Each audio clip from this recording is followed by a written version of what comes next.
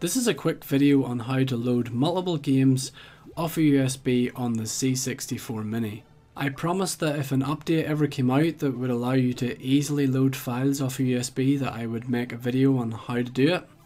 And just yesterday a huge official update was released and I'm actually really impressed with what we are able to now do. I would have been happy to get an update where we can just load games off a list um, on a USB and we can do that but we can actually do so much more as well. Um, each of the games that you load have their own independent save states. You can save, um, there's four save slots and those save slots are actually saved onto your memory card so um, you can back them up on your computer. Um, so really quite impressive and a really great update that I have for you guys today. So first of all I'll quickly show you guys where to get the update um, on the official website, it's the, the c64.com. If you go up to this little drop down and go to upgrade, this will um, give you the file that you need to put on a USB. Um, it'll also give you a whole list of instructions and um, let you know what they have actually updated. There's a frequently asked questions section. Um, this little bit here is pretty good. We'll go to the, um, the file loader. This is what we're more or less downloading and there's um, some supported file types, uh, there's some settings, and there's a nice little guide here that talks you through it, but I'm going to go over it with you anyway. But maybe you like to read some of this stuff because there's, like I said, this is a pretty big update, and um, I wasn't even expecting an update as big as this. Um, I would have been, like I said, I've just been happy just to be able to play games, but we can do so much more, and I would recommend you have a read this, but if you purely want to um, just load games off a list, then I'll cover that. Um, one other thing I'll just mention is um, the fast loader can be switched on and off. Um, the C64 Mini, as you can see here, fast loads by default. If you have um, a ROM that's not loading for you, it may be because it has a built-in fast loader and it's kind of conflicting with the um, C64 Mini's fast loader. So you can actually turn off the fast loader if you need to and um, you just simply press the third uh, red button to do that. Back to uh, the upgrade page, simply download this file here. If you click on that it will download. You then take this file and just drag it onto, I did it to a blank USB. Um, I think you can probably drag it into like a, a USB that has some stuff on it but just to keep it nice and clean and simple, I put it onto a blank USB so there was nothing else on there. And this is the point where we uh, take our USB out of the computer and put it into the C64 Mini. So on the C64 Mini main screen, if you go to the little spanner icon and go down to system information and um, it says here that it's found the new firmware, uh, do you wish to upgrade and just hit apply. You will see this little loading screen. It doesn't take much time at all, but I will cut this animation out a little bit.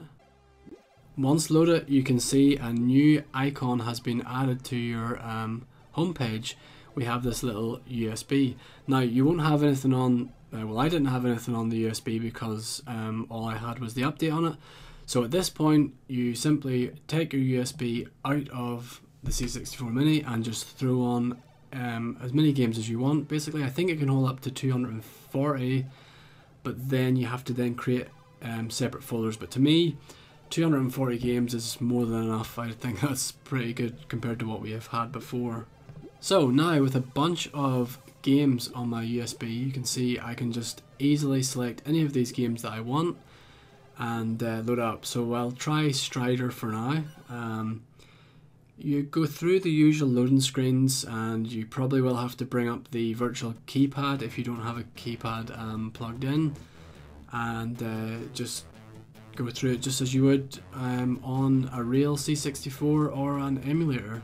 For Strider I had to use um, uh, I had to just use the spacebar a few times just to get um, through a few different things. But eventually the game loads up, uh, a couple more loading screens, just have to hit fire and here we have it Strider running just as good as it would um, on any emulator or um, on your proper Commodore. But one thing that really impressed me about this update is that it has built-in save states for each of the games, like not just four save states to choose overall, but like every game. So as you can see here, I've pulled up the save states for Strider. I don't have any saved at the minute. Um, and what I can do here is uh, I'll, I'll load up a different game just to show you that the save states are different. So all you do is go over to exit game very quickly and seamlessly. Go down to your USB again and this time I'm going to choose to play uh, Monty on the Run's already on the system so I don't know why I, I just dragged in a bunch of my games.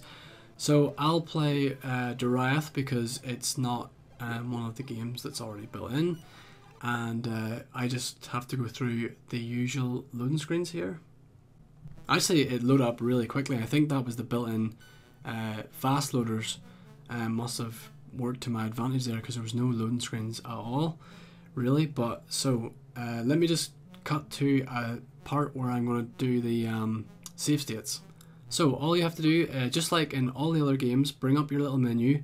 As you can see, I have four uh, blank uh, states. So I'm gonna, just going to jump up here and then bring up my menu again, load up where I previously was, and here you go. So those four save states are just purely for Doriath, and um, I can quit out right now and go and uh, load up a different game.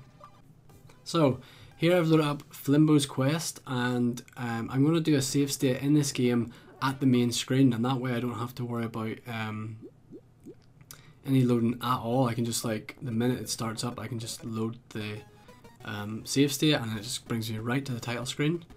And another really cool thing about this update is now whenever you pull your USB stick out of the C64 Mini and put it into your computer, it will have created a new file called uh, .the C64 save and in here is all of your save files. Um, and like I think it's just because it generates like a thumbnail so you know where the save state is. So here's my Doriath save, and you can actually see the little thumbnail. Um, pixel perfect, I might add, which is I know really cool. I just I like the way Commodore uses pixels like that. Um, and that gives you a little heads up of oh yeah, I remember where where I saved. So those can be backed up. You could uh, back them up and uh, put them back in any time. So it's just like the way that you can do that. Um, here is Flimbo's Quest saved at the dashboard or the, or the the homepage, I guess you call it, of the game. So um, that's a really quick overview. It's so simple that it probably didn't need a video on how to you know explain how to do it. And if you want to know more, I would recommend you go to the website and read up on it. But um, really happy with this update. You really shouldn't have a problem getting it to work, but if you do, then please feel free to leave a comment. I'm glad that it finally got the update that it um, deserves. Thanks for watching and I hope this video helped.